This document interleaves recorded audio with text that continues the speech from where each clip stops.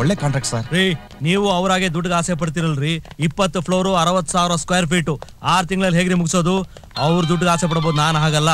ನನಗೇನಿದ್ರು quality reputation important ಗೊತ್ತಾಯ್ತಾ?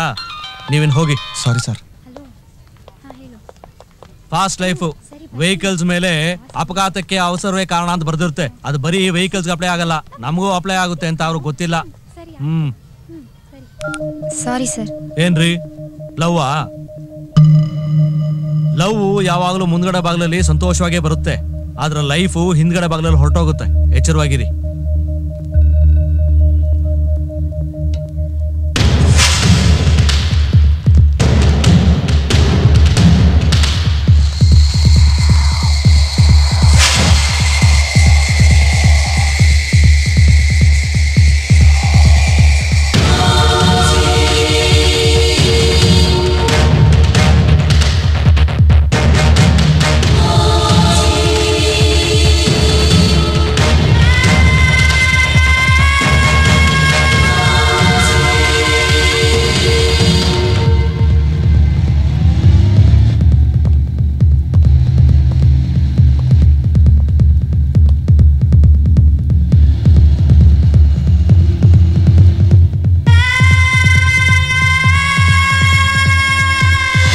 ಅದೇ ಮಗ ಬಾಸ್ಕೆಟ್ ಬಾಲ್ ಚಾಂಪಿಯನ್ ಗಣೇಶ.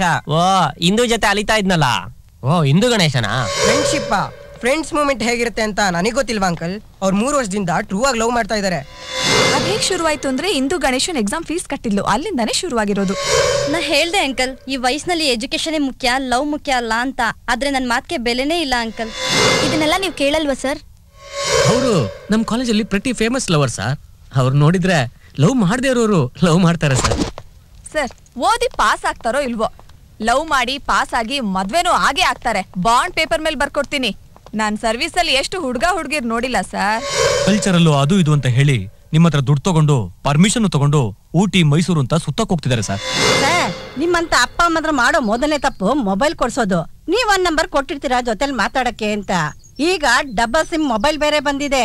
ಒಂದು ಲವರ್ಗೆ. ಇನ್ನೊಂದು ನಿಮ್ಮಂತ ಅಪ್ಪಂದ್ರಗಳಿಗೆ ಮೊದಲು ಮೊಬೈಲ್ ಕಟ್ ಮಾಡಿ ಸರ್, ಲವ್ ಕಟ್ ಆಗುತ್ತೆ ನೀವು ಗಣೇಶರ ಅಪ್ಪನಾ ಇಲ್ಲಮ್ಮ. ಹಿಂದೂ ಅವರಪ್ಪ